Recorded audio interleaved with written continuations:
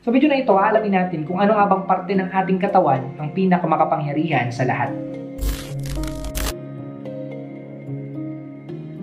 May iba't ibang parte yung katawan po ng tao at bawat parte, meron po yung mga role na ginagampanan. So mahalaga po yung bawat parte ng tao at yan po ay may purpose kung bakit po naandyan yan. Pero may isang parte po ng katawan po natin na masasabi po natin na ito yung pinakamakapangyarihan sa lahat ng parte ng ating katawan. So ibig sabihin, meron pong malaking nagagampanan po ito sa buhay ng tao. So ano po ito? So yung parte po ng katawan na tatalakayin po natin ngayon ay ang dila or tongue. Yung word na tongue o yung dila po sa Tagalog, nabanggit po yan sa King James Version ng 129 times. So alam naman po natin na yung dila po, nagagamit po natin ito para sa panlasa po natin. Nagkakaroon po tayo ng iba't ibang panlasa sa pamamagitan pamamagitan ng dila po natin. At bukod po dyan, sa pamamagitan din po ng dila, tayo po ay nakakapagsalita. So kung wala po tayong dila, mahihirapan po tayo magsalita at hindi po tayo makakabuo ng word. So yan po yung magagawa po ng dila. Makikita po natin, mahalaga po siya. Pero bukod po dyan mga kapatid, makikita rin po natin na ito pong dila po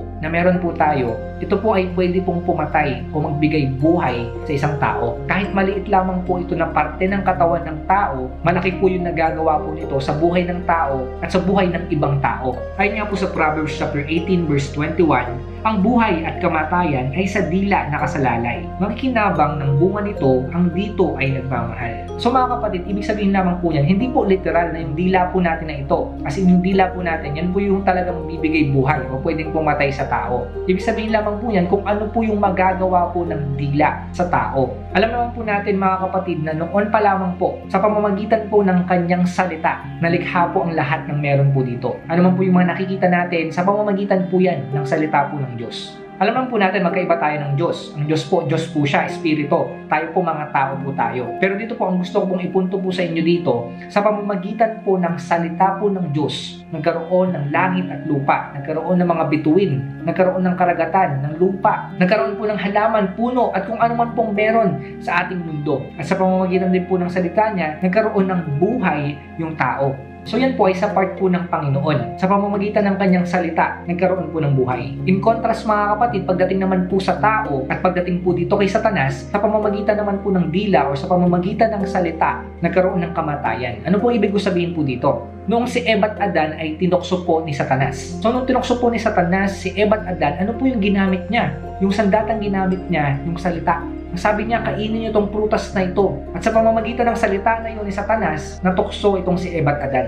So anong nangyari mga kapatid? Pumasok ang kamatayan. So nakita niyo po, sa una pa lamang po mga kapatid, nakita niyo na po yung kayang gawin po ng dila sa tao. Nakita niyo na yung kapangyarihan na pwedeng gawin ng dila. So pwede po siyang magbigay ng buhay at pwede rin po siyang pumatay. Spiritual man po or physical. So bukod po dyan mga kapatid, sa papaano pong paraan nagiging sanhi po ng kamatayan ito pong dila. Basahin po natin itong Matthew chapter 12 verse 36 to 37. Tandaan ninyo, sa araw ng paghuhukom, pananagutan ng tao ang bawat walang kabuluhang salitang sinabi niya. Pawawalang sala ka o paparusahan batay sa iyong mga salita. So pinapaalalahanan po tayo ng Panginoong Heso Kristo na wag po tayo magsasalita po ng mga hindi magagandang salita sa kapwa po natin. Wag po tayo magsasalita ng mga malalaswang pananalita o kaya man po mga salita na hindi kaaya-aya sa ibang tao na pwedeng makatisod sa kanila iwasan din po natin yung pagmumura, yung mga hindi magagandang salita po na lumalabas sa ating mga bibig. Ano man po mga salita na hindi po kalugod-lugod sa ating mga tenga, sa tenga ng mga tao at sa ating Panginoong Sokristo, huwag po natin babanggitin yan dahil meron po yung parte sa iyong kaligtasan. Ang sabi nga po sa James chapter 3 verse 6, ang dila ay parang apoy, isang daigdig ng kasamaang nagpaparumi sa ating buong pagkatao. Ang apoy nito ay mula sa impyerno at sinusunog ang lahat ng buhay ng tao. At bukod po sa mga hindi magagandang sinasabi po natin na pwede pong magdala sa atin sa kapahamakan, yung mga sinasabi rin po natin, pwede po yan na makasakit ng damdamin po ng tao. Sabi nga po sa Proverbs chapter 12 verse 18, ang matalas na pananalita ay sumusugat ng damdamin. Alam niyo po mga kapatid, yung sugat na yun na pwede mong ibigay sa tao sa pamamagitan ng salita mo, pwede maging way po yun para ma-depress yung tao. Pwede po siyang makasakit ng tao emotionally, spiritually, at pwede nga yung magpahina unti-unti sa tao. At hindi po yan ang gusto ng Panginoon. Ang gusto po ng Panginoon, mahalin mo ang kapwa mo. At pwede mong express yung pagmamahal mo sa kapwa mo sa pamamagitan ng mga sinasabi mong magaganda sa Kanya. So iwasan po natin yung mga masasakit o matatalas po ng mga salita na binibitawan po natin sa mga tao. At yung dila rin po natin mga kapatid, tandaan nyo po, pwede po yung makasira makasira po ng ano, makasira ng relasyon mo sa tao. Maaring binuo mo yung isang relasyon sa tao ng taon. As in matagal mong binuo yung relasyon sa tao na yun. Ginawa mo yung lahat para mapalapit sa kanya, para maging maayos yung relasyon nyo. Pero mga kapatid, tandaan nyo po, sa pamamagitan lang ng isang salita, isang salita po na hindi maganda or nakakasakit sa tao, pwede niyang sirain lahat ng binuo mong relasyon sa tao na yan. Lahat ng pinaghirapan mo para lang mabuo yung relasyon na yan, pwedeng masira, gumuho yan sa pamamagitan lamang ng isang salita.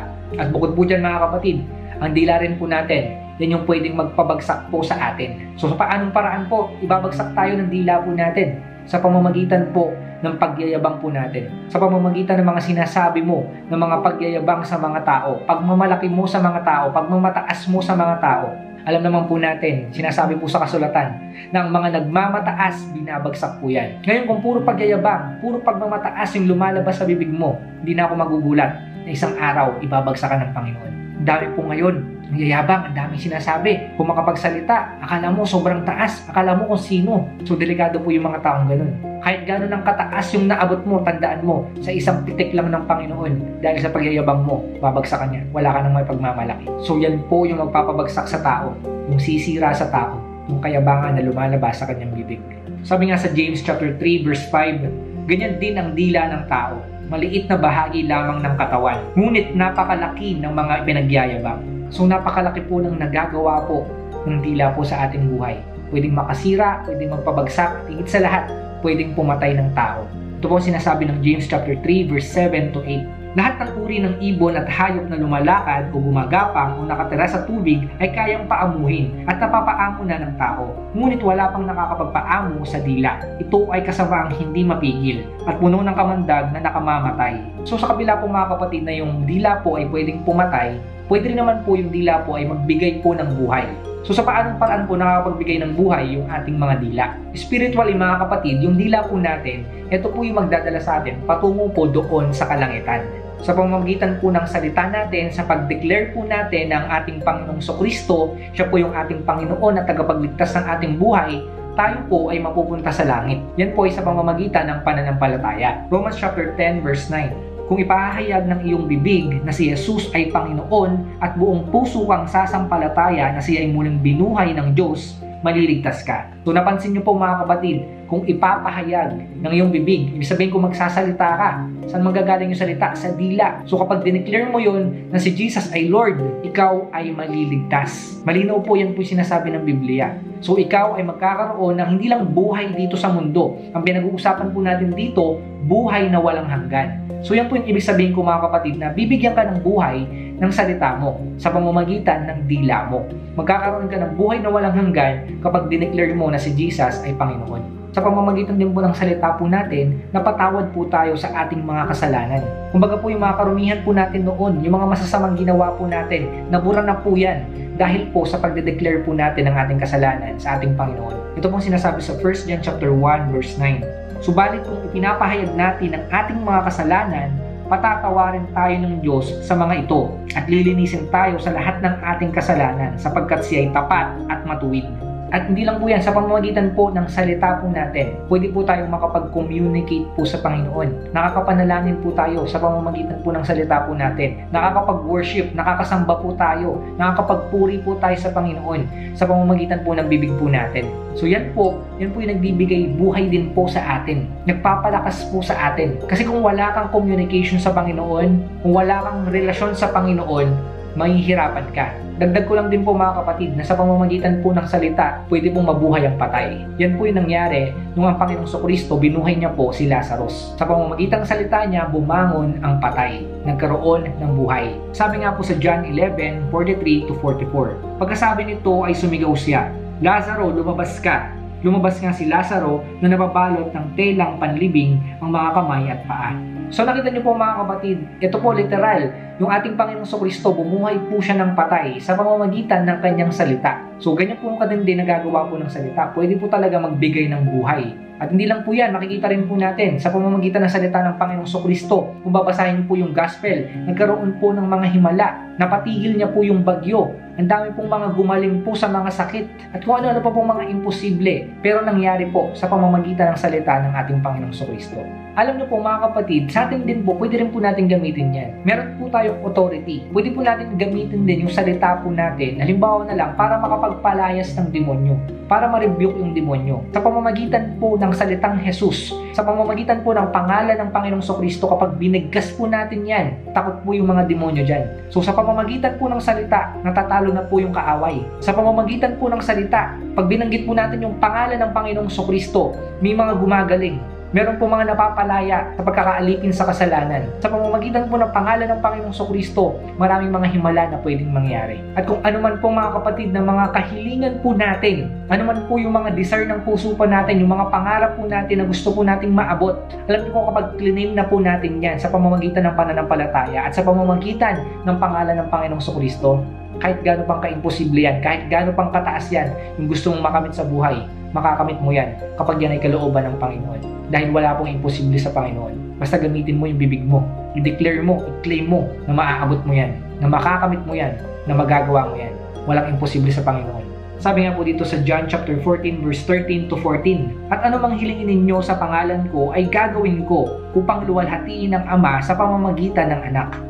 Kung hihiling kayo ng anuman sa pangalan ko, ito ay aking gagawin So mga kapatid, ito po yung pangako at pag-asa ng Panginoon para sa atin. Gamitin po natin yung bibig po natin. Pakita po natin sa Panginoon na may pananampalataya po tayo, na kaya po natin gawin yung lahat sa pamamagitan ng Panginoong Kristo. Makapangyarihan po yung dila po natin. Marami pong kayang gawin yan. At mas lalo pong maraming magagawa yan kapag ginamit po natin yan ng may pananampalataya. At higit sa lahat sa pamamagitan ng pangalan ng Panginoong Yesus. So gamitin po natin mga kapatid yung dila po natin sa tama. Gamitin po natin ito para magpalakas po ng tao. Palakasin po natin sila sa pamamagitan ng mga sinasabi natin. At higit sa lahat, ibahagi po natin yung salita po ng Diyos sa bawat tao. Gamitin po natin yung mga bibig po natin at may mga tao maliligtas, mapupunta sa langit sa pamamagitan po ng dila po natin. Bilang mga Kristiyan, dapat po yung mga salita po natin, yan po yung magpakita kung sino po tayo. Kasi kung ano po yung sinasabi po natin, yun po tayo. Kaya kailangan po maging maayos po tayo sa ating pananalita.